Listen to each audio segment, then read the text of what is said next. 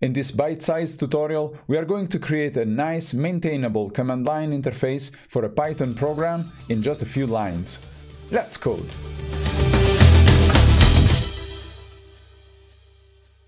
Hi, I'm Rafael, and this is Coder Cave. If you're interested in software development, consider subscribing to this channel.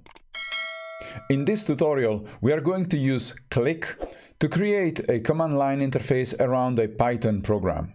This is useful for those quick and dirty tools that you want to quickly get to work. Uh, you don't need them to be rock solid, but they still need to get arguments. So instead of using sys.argv, we are going to use click.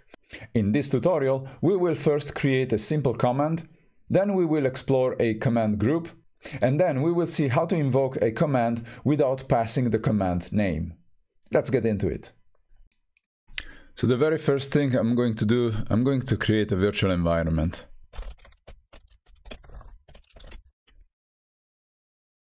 Once the virtual environment is ready, I will install Click.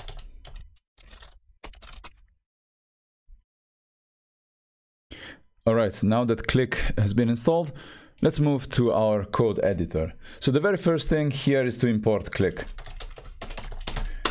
Now, this is going to be an, an hello world kind of uh, application. So let's add some scaffolding code. Okay, now let's create this uh, salute me. Salute me is going to be our hello world command. Um, we want to invoke that through command line. So the method will obviously receive the name and it's going to print salute uh, hello world or hello name. So it's going to be an f string. All right so we want name to be parametric and to be coming from the command line. So very simply we just decorate this method with click command and then we need to define a, a click option. The option will be dash dash name we can define a default, which is going to be, you guessed it, world. And then we can also define a help text. So the help text will show in the uh, command line when we uh, when we invoke the program with dash dash help. All right, so here we have everything we need. Let's switch back to the command line and let's invoke this program. And here, by default, we have hello world. But what if we say hello name caveman? Hello caveman. All right, so this is a very simple a very simple command. You can't go simpler than that. And you probably noticed that this is even this is already easier than using sys.argv to get your uh, uh, your parameters into your code. Let's step up the game a little bit. Let's explore the command groups. So let's imagine that we are creating this program to check in someone in a hotel. So first we salute them and then we check them in. So let's code the check-in method. So check-in takes the room in which we want to check in the, the guest. So we say print um, so it's going to be an f string you're staying uh, at room. And then we say room. The room that was passed as an argument. All right so nothing special there. And this is this check-in is going to be a command. So we decorate that again with click command and an option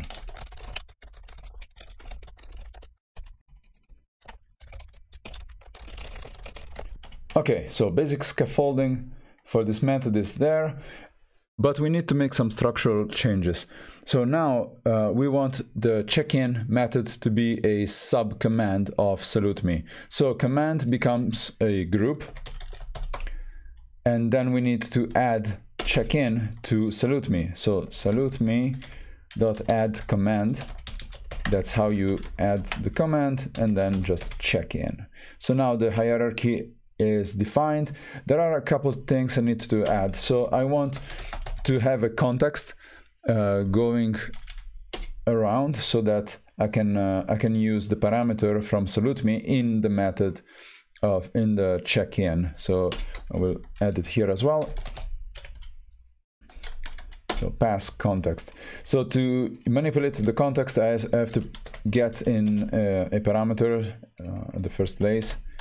I will call it ctx. So here, when uh, when I call um, this program uh, all the way to check-in, um, I will capture the name, but the name will not be passed in the check-in.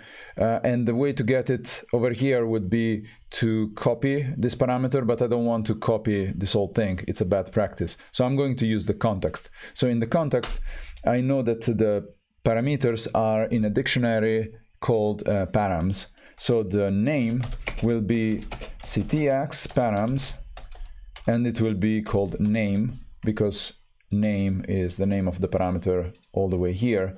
So instead of saying you are staying at room, we will address the guest by name. So name, you are staying at room something. All right. So with that done, let's give it a try.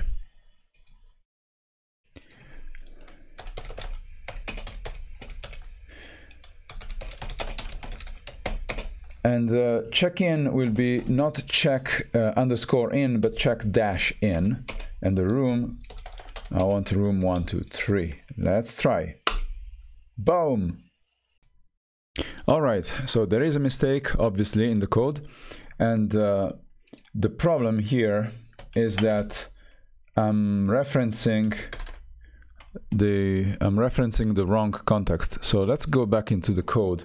So instead of context.params, I have to do context.parent.params. So this is going to get the context of the, um, the parent command.